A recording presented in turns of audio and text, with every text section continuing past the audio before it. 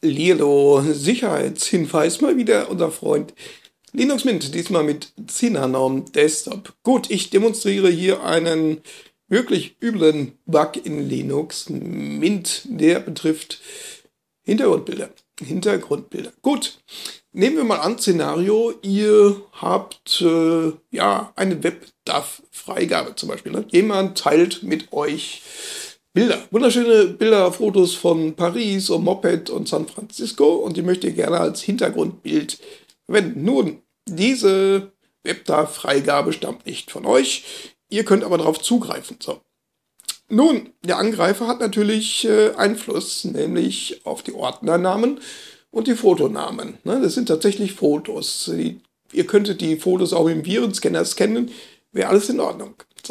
So. Also was ist WebDAV mit Server verbinden?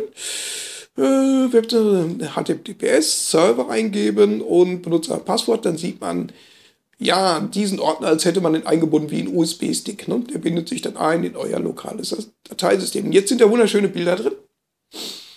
Ja, wie gesagt, der Angreifer hat äh, Einfluss auf die Dateinamen und äh, Ordnernamen. So, alles nicht schlimm normalerweise. Normalerweise nicht, wenn das gescheit programmiert wäre. Gut, jetzt will ich meine Hintergrundbilder ändern äh, auf diese WebDAV-Freigabe aus irgendeinem blödsinnigen Grund, weil mir die so gut äh, gefallen. Ne? Ja, ich will mir die nicht rüber kopieren. Ich käme jetzt auf die Idee, Hintergrundbilder ändern. So, die stehen standardmäßig auf hier Linux Mint und äh, von älteren Versionen wunderbar. Aber da ist dieses Ding noch nicht dabei, wie ich will. Jetzt muss ich natürlich diese, diesen Ordner hinzufügen, ne? mit dem Pluszeichen, neuen Ordner hinzufügen. So, geben Sie den Ort an und dann könnte ich natürlich diesen WebDev-Ordner, ne? WebDev-Ordner suchen oder zuletzt verwendet, diesen Ordner verwenden. So, so. Und diesen öffnen.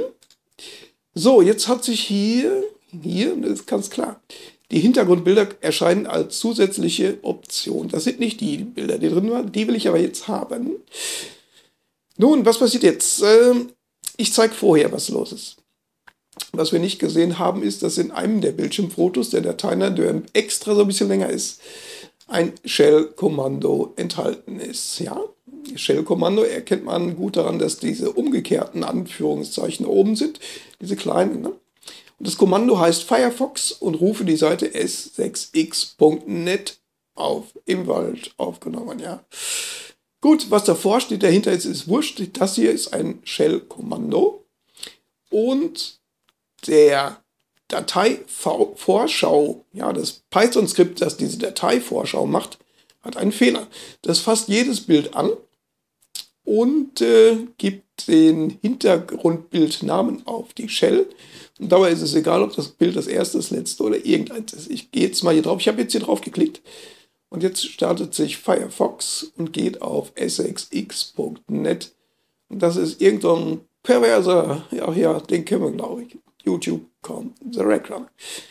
Gut, äh, so kann man jemand, nur durch ein Bild, jetzt ist kein Witz, nur durch ein Bild, hier in dem Fall zum Beispiel durch eine WebDev-Freigabe auf unseren, ja, auf unserem äh, Rechner geraten. Ne? Deshalb äh, vorsichtig mit Internet-Shares.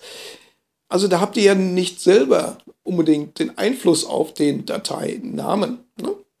Könnte natürlich genauso passieren mit dem USB-Stick oder ihr benennt einfach mal eine Datei um. Ne? Firefox im Wald aufgenommen, JPEG. Ich hoffe, ihr habt geholfen zu haben. Verbleibe mit freundlichen Grüßen und tschüss.